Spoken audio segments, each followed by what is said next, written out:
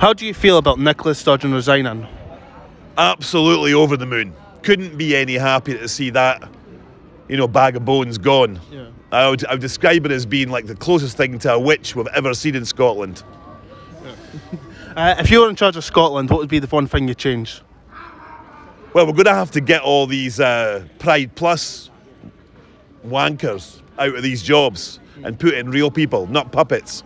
Not with that whole Palladian. You know what a Palladian is? No. Well, Nicola Sturgeon's a Palladian. So what's interesting is she's like a sort of a sniper, undercover socialist, and nothing she says is true. So her pals are the same. Mm. So it's basically a, a bunch of freeloading, you know, kind of legalistic Pride Plus wankers, and so they need to go, and we need to get in people who are family people, real proper family people who are invested in a, a man's a man, a woman's a woman, and let's build from there. And public toilets, for fuck's sake, public toilets. We need toilets. People need a shite.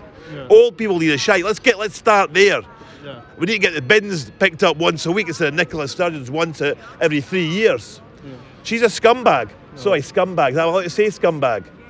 They should come and visit me in Dundee if you want. Scumbag Nicola with a red suit. Come and visit me and we'll have a proper chat. I don't do the legal talk. You'll be you'll be up against someone that can actually dismantle your shite, you Palladian socialist scumbag.